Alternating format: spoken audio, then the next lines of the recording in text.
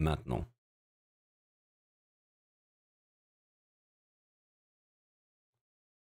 Je me mets lunettes parce que ça va piquer un peu pendant le truc. Yop, yop, tout le monde, c'est Claude for Life. On va parler donc de GTA 6 sur PS5 Pro. Toujours pas compris pourquoi ils mettent Pro dessus, mais bon. PS5 Plus, on va dire. Pro, euh, j'en doute. Fera une petite parenthèse pendant le truc. Donc, euh, on en sait un peu plus sur GTA 6 qui sort théoriquement en 2025. Apparemment, le euh, cahier des charges, si je puis dire, devrait être tenu. Mais on verra. En attendant, comme d'habitude, si le contenu de la chaîne vous plaît, n'hésitez pas à vous abonner, à poser un pouce, à partager, ça aide énormément. Vous pouvez me suivre sur les réseaux sociaux, tous les liens euh, sont dans la propos de la chaîne. Donc pour ceux qui savent pas c'est quoi la propos, vous allez sur la description de la chaîne là. Hop, vous criez, vous, vous criez, lol, vous cliquez sur plus, vous criez si vous voulez. il y a tous les réseaux là. Voilà, tous les réseaux officiels, je n'utilise que ceux-là. Et je vous invite également à descendre un tout petit peu, aller sur les chaînes des modos, des poteaux. Il y a beaucoup de contenus différents, beaucoup de styles différents. Pourquoi pas des choses qui pourraient vous plaire. Donc n'hésitez pas à aller y jeter un œil. Pour ce qui est de la PS5 Pro, évidemment. Hein, et de euh, GTA 6, ce que nous dit JVTech, sur jeuxvideo.com, un article de ce jour, donc sorti le 29 euh, septembre à 10h20, donc il y a quelques heures. Donc nous avons euh, Ahmed Amadou Aka euh, Yuriki 00 qui nous dit ceci GTA 6 sur PS5 Pro grâce à la technologie PSSR. Le jeu pourrait faire tourner en 4K 60 FPS. Là, j'ouvre tout de suite la parenthèse sur la PS5 Pro et euh, je vais aller directement, plutôt carrément, sur la, PlayStation 5 quand elle est sortie. Hein, les gars? Et la PlayStation 5 quand elle est sortie? Hop, on zoom, on zoom, on zoom, on zoom. Attendez, hop, j'ajuste l'image. Elle nous annonçait ça. De la 4K en 120 FPS voire de la Wicca. LOL. LOL. On nous aurait menti Merde alors Oh putain, c'est con ça quand même. Mais bon, vous inquiétez pas, la Pro pourrait le faire tourner en 4K 60 FPS, on n'en est pas sûr. Donc je continue. La sortie de la PS5 Pro pour cette fin d'année est une bonne nouvelle pour les joueurs. C'est vrai qu'on l'attend depuis quand même 11 euh, ans. Euh, GTA 6, bientôt 12.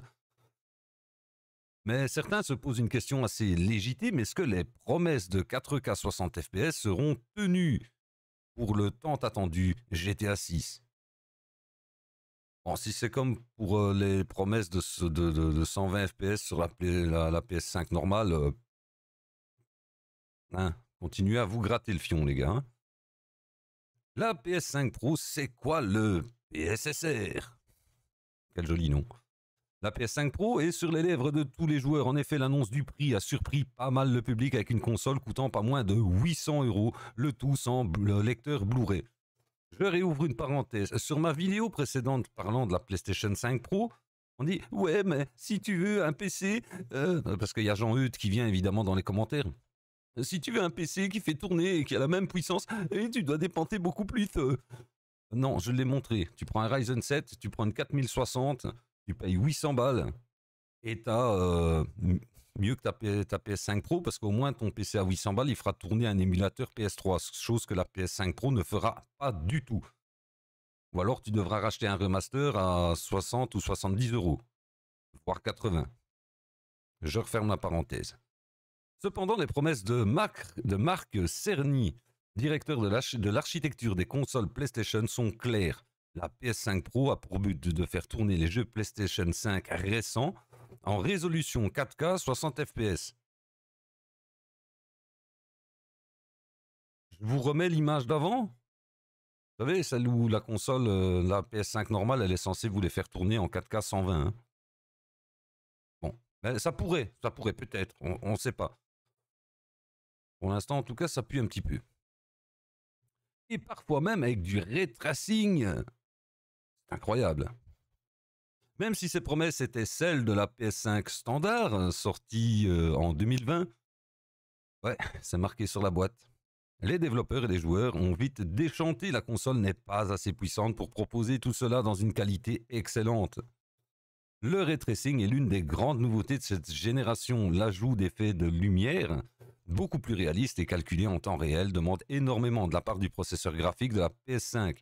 Il faut donc souvent faire des concessions et cela passe par différents modes graphiques que les jeux proposent, notamment en euh, qualité, donc du ray tracing 4K upscalé, ce qui veut dire que c'est pas vraiment la vraie 4K, c'est du upscale en 30 fps. Youpi On n'a pas les 120. Hein. Équilibré, sans ray tracing, en 1440p upscalé ou natif entre 30 et 50 fps toujours pas les 120, ou le mode performance sans ray tracing en 1080p ou en upscale euh, en 1400p à 60 fps voire plus. Alors oui, oui, en 1080 euh, en mode performance, il y a certains jeux qui dépassent allègrement les 60 fps sur la console, ce qui est très très très bien. Par contre, elle n'a pas tenu ses promesses et euh, on est en droit de se demander si la PS5 Pro tiendra réellement ses promesses ou pas. Il s'agit généralement des réglages proposés par les développeurs. Parce que oui, c'est bien de sortir une console hyper puissante, mais euh, si les jeux de leur côté ne sont pas euh, développés de façon à ce que euh, à être optimisés par la console, ça sert un peu à rien. Et ça, c'est pas aux développeurs qu'il faut en vouloir, c'est aux studios. Parce que pour ça, il faut, faut donner les moyens, il faut donner le temps. Or, les studios ne donnent, ne donnent plus que rarement les moyens et le temps. Mais bon. Donc proposé par les développeurs, mais Marc Cerny nous a quand même révélé une donnée très importante. Environ 75% des joueurs n'utilisent que le, mode performance. Monsieur Cerny, si les joueurs utilisent le mode performance, c'est peut-être parce qu'en 1440 ou en 4K, ton jeu il est dégueulasse. Enfin, ta, console, elle, euh, elle souffle un poumon et il y a moyen de s'allumer une cigarette à la sortie de, la sortie de l'airflow tellement ça chauffe. Hein. je dis ça, je dis rien. Hein. Non, peut-être. Quel génie cet homme, c'est incroyable. À partir de ce postulat, Sony a cherché à améliorer la PS5 classique, sortie, je le rappelle, en 2020, notamment grâce à un processeur graphique plus poussé, le RDNA 3 4RT pour la PS5 Pro contre une architecture RDNA 2 pour la PS5 un processeur plus récent et plus puissant qui a pour but euh, euh, but d'être mis à contribution pour les prochains jeux Sony, notamment au niveau des performances, fluidité, résolution, qualité, etc. Alors, je veux bien y croire à toutes ces promesses, mais on nous les avait déjà sorties lors de la PS5 classique, standard, que ce soit la FAT ou la Slim. C'est les promesses qu'on avait eues. Jusqu'à présent, aucune de ces promesses n'a été tenue. Aucune. L'upscale vidéo PSSR est donc une technologie très importante. Bah, l'image en dessous, elle me fait déjà sourire. Ok. C'est abusé. Euh, très importante donc pour cette génération, puisqu'elle permet dans ce cas, grâce à l'IA, parce que bon, c'est voilà, c'est pas du vrai, c'est du retravaillé. Hein, puisqu'elle permet de calculer le jeu dans une résolution plus faible pour l'afficher dans une résolution plus élevée en évitant au maximum les déchirures d'image et les effets de flou. En gros, on vous vend de la contrefaçon 4K. On vous vend de l'upscale vidéo. On diminue la résolution pour pouvoir vous faire, vous faire croire qu'elle a été augmentée alors qu'elle est diminuée, mais de meilleure qualité. Je j'ai peut-être rien compris parce que je suis con comme un balai, mais là, rien que cette phrase-là, elle dit on se fout ouvertement de votre gueule. Mais bon. Concrètement, cela signifie que le PSSR proposé par la PS5 Pro pourrait, j'adore le conditionnel, pourrait grandement améliorer la fluidité de tous les jeux actuels et futurs, tout, en maintenant une résolution 4K. Alors ici, bon, on a cette image-là qui a tourné beaucoup, donc c'est une image de, The Last of Us, euh, la PS5 en performance et la PS5 Pro. Euh, honnêtement, je vois pas de différence. Honnêtement. En tout cas, sur l'image, euh, ça ne me saute pas aux yeux.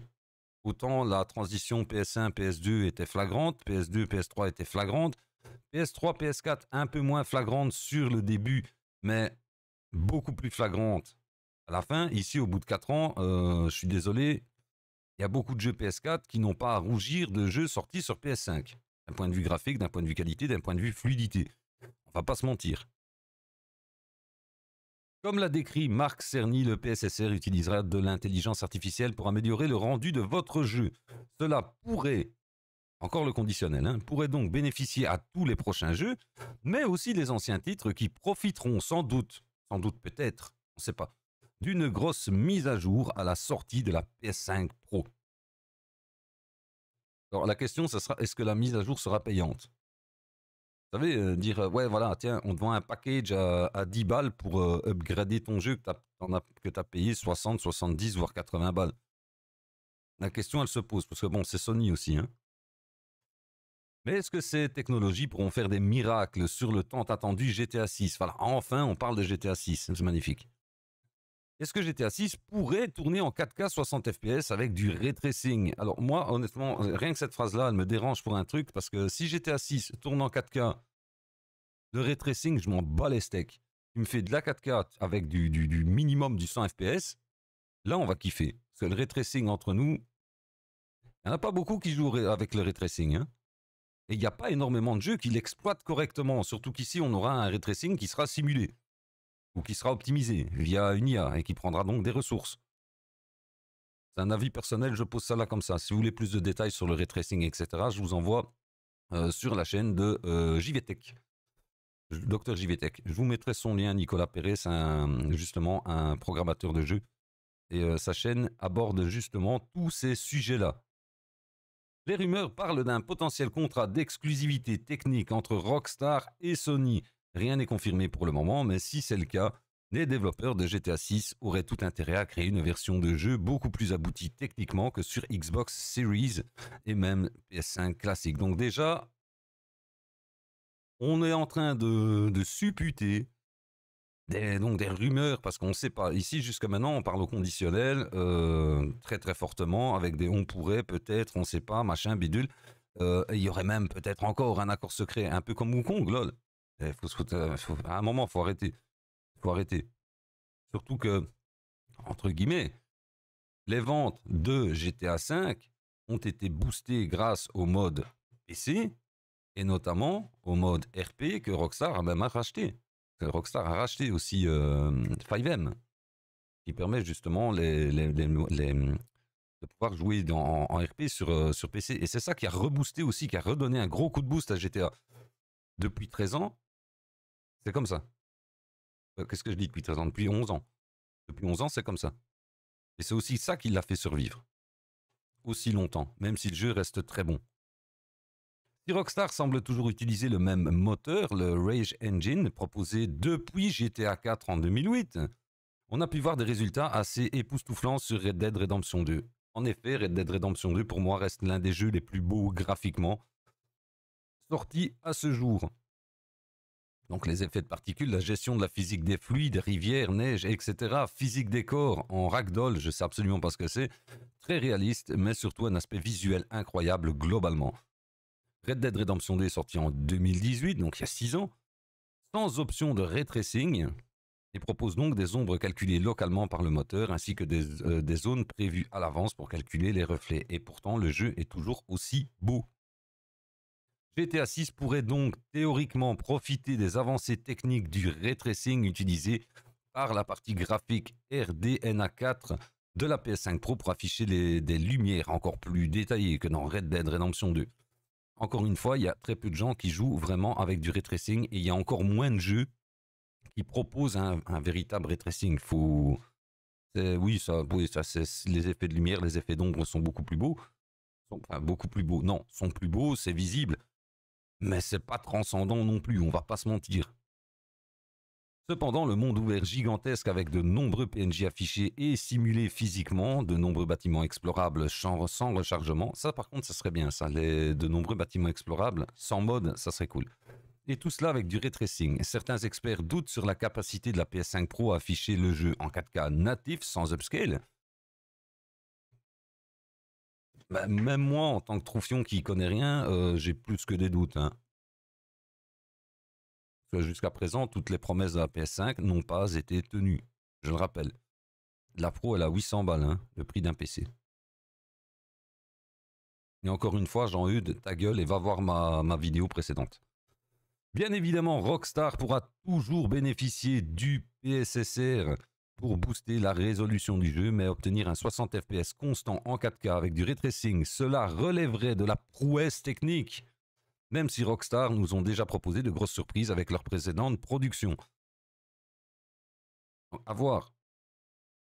Parce que même là, ils le disent, hein, du 4K, 60 fps constant avec ray tracing, ça serait une prouesse technique. Je veux bien y croire. Mais après toutes les promesses non tenues, moi je doute fortement. Les experts de Digital Foundry semblent ne pas croire à cette projection folle et mise sur un compromis entre un framerate légèrement plus élevé que 30 images par seconde, mais avec du ray tracing et une, une résolution 4K upscalée ou native. Donc voilà. Encore une fois, comme d'habitude, on nous fait toujours des, promesses. Hein, Sony, un champion de la promesse, qui nous dit euh, ouais, mais on va avoir du 4K, 120 FPS, du 8K sur la version de base. Ici, ils nous disent ouais, mais non, on pourra faire du 60 FPS en 4K en fait. Hein. Mais tu auras du ray tracing. Le tout géré par intelligence artificielle parce que ça sera ou de l'upscale ou euh, du native. Mais on ne sait pas. Mais bon, si c'est du native, si c'est du upscale, tu auras 30 FPS. Si c'est du natif, tu auras peut-être peut-être 60 FPS. On n'en est même pas sûr. Enfin bref. Bien sûr, n'hésitez pas à mettre votre avis dans les commentaires. Je vous mets la chaîne également de JVTech, de Dr JVTech, euh, pour que vous puissiez euh, aller voir un peu ce que c'est exactement le ray tracing et tout ça. Il fait des radios libres assez souvent avec des programmeurs et euh, il répond à énormément de questions qu'on peut se poser parce que on entend souvent tout et n'importe quoi. Là, ici, c'est un vrai programmateur de jeux vidéo. Il interviewe des collègues à lui et il nous explique un peu tout le procédé euh, de création d'un jeu et d'optimisation d'un jeu. En tout cas, j'espère que cette vidéo vous aura intéressé. Comme d'habitude, bien sûr, si le contenu de la chaîne vous plaît, n'hésitez pas à vous abonner, à poser un pouce, à partager. Vous pouvez me suivre sur les réseaux sociaux. Les liens sont dans la propos de la chaîne. Et je vous invite à aller checker sur la page principale, vous descendez un petit peu les chaînes des modos, des poteaux. Il y a beaucoup de contenus différents, de styles différents. Pourquoi pas des choses qui pourraient vous plaire. Donc n'hésitez pas à aller y jeter un œil. Sur ce, je vous souhaite une très bonne journée, une très bonne soirée. Prenez soin de vous et je vous dis à ciao ciao tout le monde.